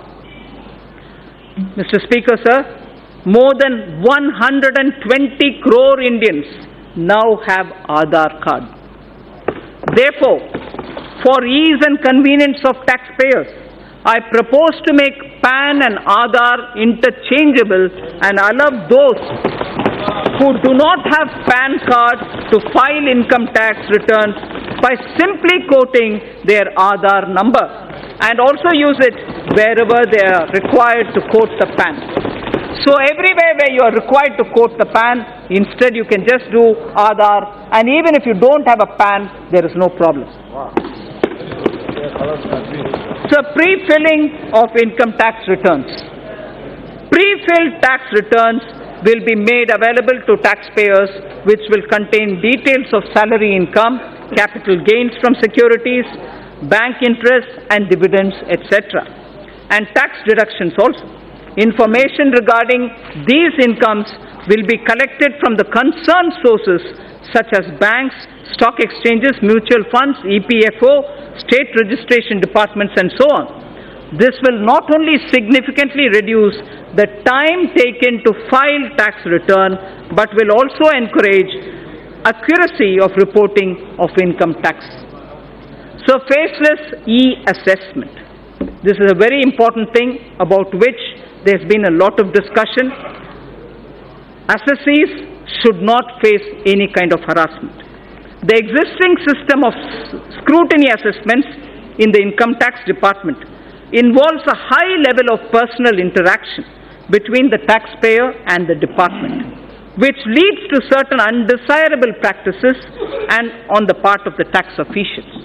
To eliminate such instances and to give shape to the vision of Honorable Prime Minister, a scheme of faceless assessment in electronic mode involving no human interface is being launched this year in a phased manner.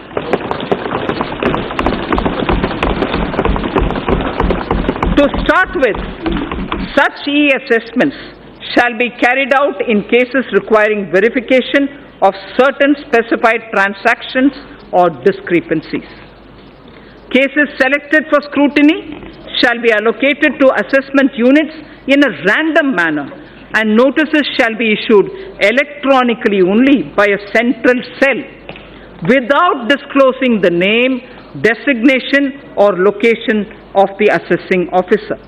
The central cell shall be the single point of contact between the taxpayer and the department.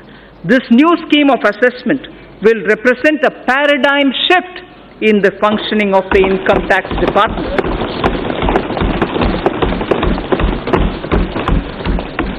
So on digital payments, our government has taken a number of initiatives in the recent past for the promotion of digital payments and less cash economy. To promote digital payments further, I propose to take a slew of measures to discourage the practice of making business payments in cash, to discourage the practice of making business payments in cash I propose to levy TDS tax, tax deduction at source of 2% on cash withdrawal exceeding 1 crore in a year from a bank account. I'll repeat this.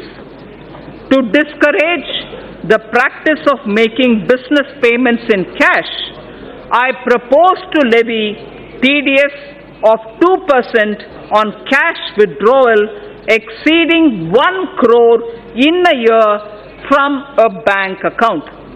Further, there are low-cost digital modes of payment such as BHIM UPI, UPI QR code, Aadhaar Pay, certain debit cards, NEFT, RTGS, etc., which can be used to promote less cash economy. I therefore propose that the business establishments with annual turnover of more than 50 crores shall offer such low-cost digital modes of payment to their customers and no charges, no charges or merchant discount rate shall be imposed on customers as well as the merchants. No charges or merchant discount rates shall be imposed on customers as well as the merchants. RBI and banks will absorb these costs from the savings that will accrue to them on account of handling less cash as people move to these digital modes of payment. Necessary amendments are being made in the Income Tax Act and the Payments and Settlement System Act of 2007 to give effect to these provisions. So now about the revenue mobilization. I'm sure it's equally concerning for all of us. Mr. Speaker, sir, as I have started earlier, we have taken several measures in the past to alleviate the tax burden on small and medium income earners as those having annual income up to 5 lakhs are not required to pay any income tax. We are thankful to the taxpayers who play a major role in nation building by paying their taxes. However, in view of the rising income levels, those in the highest income brackets need to contribute more to the nation's development. I therefore propose to enhance the surcharge on individuals having taxable income from 2 crore to 5 crores and 5 crore and above so that effective tax rates for these two categories will increase by around 3% and 7% respectively. So the other measures, I also propose to simplify the tax law to reduce genuine hardships being caused to taxpayers, which include enhancing tax, tax, threshold of tax for launching prosecution for non-filing of returns and exempting appropriate class of persons from the anti-abuse provision of Section 50CA and Section 56 of the Income Tax Act. So the indirect taxes. Now coming to indirect taxes, sir. We are aware that the landscape has changed significantly with the implementation of the GST. In every sense, this has been a monumental reform. In every sense, this has been a monumental reform, center and states coming together and agreeing to pool in their sovereign power of taxation for common good of the country was unprecedented. 17 taxes and 13 cesses became one tax. Multitude of rates instantly became four. Almost all commodities saw rate reduction. Tens of returns were replaced by just one. Taxpayers' interface with tax departments got reduced. Border checks got reduced and eliminated in many cases. Goods started moving freely across states, which saved time and energy. A truck started doing two, two trips in the same time in which it was doing one. Thus, dream of one nation, one tax, one market was realized. The GST Council deserves all the credit for this. Sir, in the initial phase, GST witnessed certain teething problems. This was natural considering the scale of the reform. However, the Council, the Centre and the states proactively worked to resolve these issues. GST rates have also been reduced significantly, where relief of about relief of about 92,000 crores per year has been given. We should not lose sight of this fact when judging the performance of the GST. The details are given in the annexure. We are further simplifying the GST processes. A simplified single monthly return is being rolled out. Taxpayer having annual turnover of less than 5 crore shall file only quarterly returns. Free accounting software for return preparation has been made available to small businesses. A fully automated GST refund module shall be implemented. Multiple tax ledgers for a taxpayer shall be replaced by just one. It's also proposed to move an electronic invoice system wherein invoice details will be captured in a central system at the time of issuance. This will eventually be used to pre-fill a taxpayer's return. There will be no need for a separate e-way bill. Its rolled out, its rollout would begin from January 2020. Electronic invoice system will significantly reduce the compliance burden. Sir, on the customs side, my proposals are driven with the objective of securing our borders, achieving higher domestic value addition through Make in India, reducing import dependence, protection to MSME, and promoting clean energy, curbing non-essential imports, and correcting inversions. Defense has an immediate requirement of modernization and upgradation. This is a national priority. For this purpose, import of defense equipment that are not being manufactured in India are being exempted from the basic customs duty. Make in India is a cherished goal.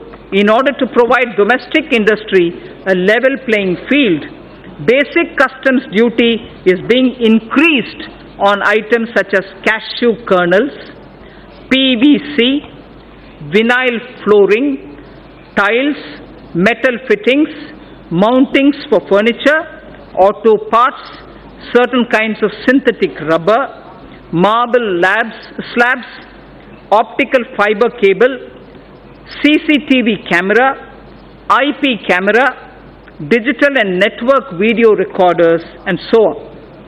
Also, exemptions from customs duty on certain electrical, electronic items which are now being manufactured in India are being withdrawn. Further, end use based exemptions on palm stearin, fatty oils, and exemptions to various kinds of papers are also being withdrawn. To encourage domestic publishing and printing industry, 5% customs duty is being imposed on imported books. To further promote domestic manufacturing, customs duty reductions are being proposed on certain raw materials and capital goods. These include certain inputs of CRGO sheets, amorphous alloy ribbon, ethylene dichloride, propylene oxide, cobalt matte, naphtha, wool fibers, inputs for manufacture of artificial kidney and disposable sterilized dialyzer, and fuels for nuclear power plants. To further incentivize e-mobility, customs duty is being exempted on certain parts of electric vehicles. Customs duty is also being exempted on capital goods required for manufacture of specified electronic goods. So the export duty is being rationalized on raw and finished leather to provide relief to this sector. Crude prices have softened from their highs. This gives me room to review excise duty and cess on petrol and diesel. I propose to increase special additional excise duty and road and infrastructure cess, each one by one rupee a litre on petrol and diesel. It is also proposed it is also proposed to increase it is also proposed to increase custom duty on gold and other precious metals from 10% to 12.5%. It is also proposed to increase custom duty on gold and other precious metals from 10 to 12.5%. Tobacco products and crude attract national calamity and contingent duty. In certain cases, this levy has been contested on the ground that there is no basic excise duty on these items. To address this issue, a nominal basic excise duty is being imposed. Sir, I am also proposing few amendments to the Customs Act.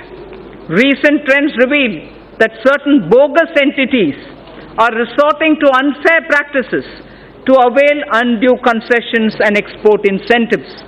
While we have intensified our efforts against such nefarious activities, provisions are being incorporated in the Act for enhanced penalty and prosecution for such offences. Further misuse of duty-free scrips and drawback facility involving more than 50 lakh of rupees will be a cognizable and non-bailable offence. GST has completed two years. An area that concerns me is that we have huge pending litigations from pre-GST regime. More than 3.75 lakh crores is, of rupees is being blocked in litigations and service tax and excise. There is a need to unload this baggage and allow businesses to move on. I therefore propose a legacy dispute resolution scheme, a legacy dispute resolution scheme that will allow quick closure of these litigations. I would urge the trade and business to avail this opportunity and be free from legacy litigations. The details of my tax proposals are given in the annexure. Sir Speaker, I thank you for this opportunity and with these words I commend the budget to this August House. Thank you. To Srimati Nirmala Sitaram, Mani uh, I just would like to mention, although I have commended the budget, I just would like to mention, I have not mentioned specific allocations for the scheme and programs. I have not mentioned specific allocations for schemes and programs. All these details are available in the budget documents as much as my speech, speech's annexure. I also thank and take this opportunity for the response that we've received for the crowdsourcing of ideas for the budget. Immense suggestion from common citizens reached us. We have benefited from the crowdsourcing. The one last mention, which is more for the curiosity sake the fiscal deficit. The fiscal deficit this year is 3.3%, brought down from 3.4%. Thank you. Item number two, Srimati Nirmala Sitharaman, Manya Vitt Of course, don't have the papers.